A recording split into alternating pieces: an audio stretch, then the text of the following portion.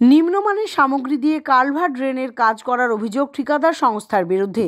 তার প্রতিবাদে বিক্ষোভ গ্রামবাসীদের। ঘটনাটি ঘটেছে হরিহরপাড়া থানার রুকুনপুর এলাকায়। স্থানীয়দের অভিযোগ রুকুনপুর গ্রাম পঞ্চায়েত এলাকায় প্রায় এক সপ্তাহ আগে কালভার্ট ও ড্রেন করেছে যা আজ ভেঙে যাচ্ছে বলে অভিযোগ। নিম্নমানের সামগ্রী দেওয়ার ফলে এরকম ঘটনা ঘটেছে। বিক্ষোভ আপনার রাস্তাঘাট যেখানে যে কালভেট করেছে তারপর আপনার যা করেছে আপনার একবারে দু নম্বর সব ভেঙে আপনি পড়ে যাচ্ছে আপনার এই দিন আসটার আগে। পঞ্চায়েত থেকে কালভেট আর একটা ড্রেনের কাজ বেরিয়েছিল। তাতে মেন হচ্ছে কন্ট্রাক্টর হচ্ছে একটা হচ্ছে কেউ পিন্টু নাকি? পিন্টু। আর একজন হচ্ছে আমানুল। দুজনাই কাজটা করেছে।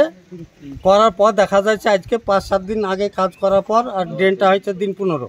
দেখার পর আপনি আপনি ধৈর্য পড়ে যাচ্ছে। তার জন্য দেশের লোক এইখানে যে একটা গাড়ি উঠে আটকে গেল, দেশের লোক তাকে গাড়িটাকে তুলে পার্কে দেওয়া হলো। এর জন্য দেশের লোক ক্ষিপ্ত হয়েছে। কাজ একদম ঠিকঠাক হয়েছে। ওখানকার গ্রামের লোকজন ছিল। লোকজন থেকে শিডিউল মেনে কাজ হয়েছে রানিং কাজ চলছে। কাজ একদম ঠিক হয়েছে।